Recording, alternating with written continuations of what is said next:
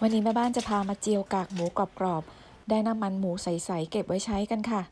กากหมูที่ได้นำไปกินกับก๋วยเตี๋ยวก็ได้ หรือว่าจะทำน้ำพริกกากหมูก็อร่อยค่ะ น้ำมันหมูที่เจียวได้ประมาณ 1 ลิตรครึ่งค่ะ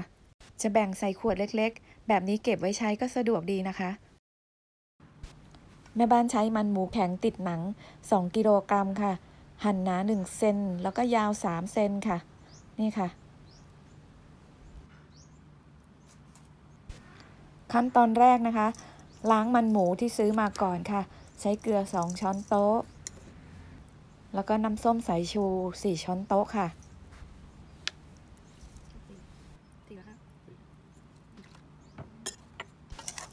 คนคนคลุกเคล้าให้ทั่วค่ะ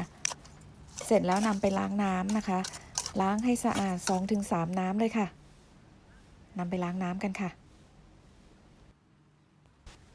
ล้างน้ำสะอาดแล้วได้แบบนี้ค่ะ นี่ค่ะ มันหมูจะไม่มีแฉะติดมือมาเลยนะคะ สะอาดเกลี้ยงเกลา ขั้นตอนที่ 2 ใส่เกลือ 1 ช้อนชาค่ะ ในคลิปแม่บ้านใส่ 1 ช้อนโต๊ะเยอะไปค่ะ เค็มไปนิดหนึ่ง ใช้ 1 ช้อนชาก็พอค่ะ แล้วก็ตามด้วยน้ำส้มสายชู 2 ช้อนโต๊ะค่ะ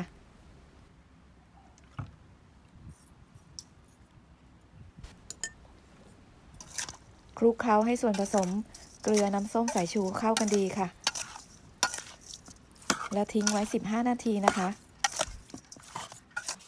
เสร็จแล้วนำมาเทลงกระทะนะคะ เจียววิธีนี้ปลอดภัยค่ะ น้ำมันไม่กระเด็นแน่นอน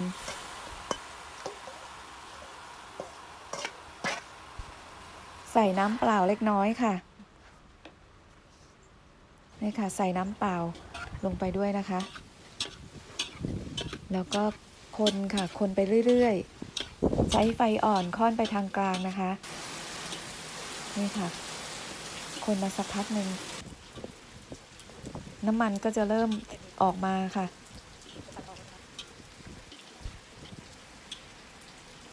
น้ำมันออกมาประมาณนี้นะคะ ได้หนังหมูตึงๆ ใสๆ แบบนี้ ปิดไฟค่ะ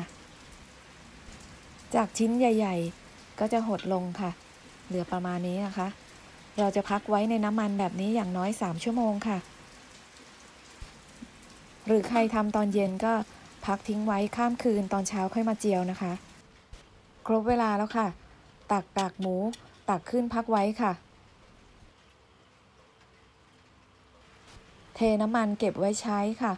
เหลือไว้สำหรับเจียวกากหมูเล็กน้อยนะคะนำกากหมูที่พักไว้แบ่งเจียวค่ะ แบ่งเจียวทีละน้อยค่ะ ใช้ไฟกลางค่ะ ถ้าเจียวเยอะ เขาก็จะเต็มกระทะนะคะ เขาจะพองพอดีค่ะนี่ค่ะลอยขึ้นมานะคะลอยเบาๆ แล้วก็กรอบแล้วนะคะ สีเหลืองใช้ได้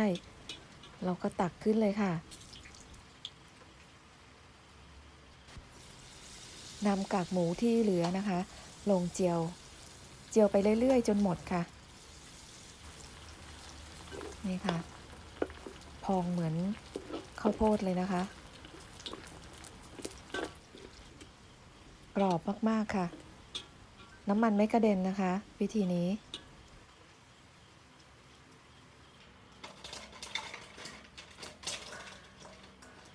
เจียวจนหมดค่ะ ได้กากหมูเยอะทีเดียวเลยค่ะ นำไปใส่ในก๋วยเตี๋ยวนะคะ หรือว่าจะทำน้ำพริกกากหมู ทานได้เลยค่ะ อร่อย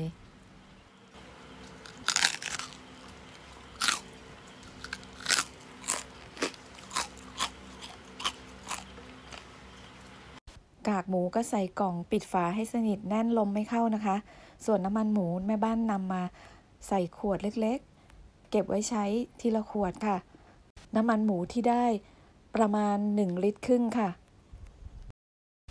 ลองไปทำกันดูนะคะ ขอบคุณที่ติดตามและรับชมค่ะ เอาไว้พบกันคลิปหน้าเมนูหน้าค่ะ ขอบคุณมากๆค่ะ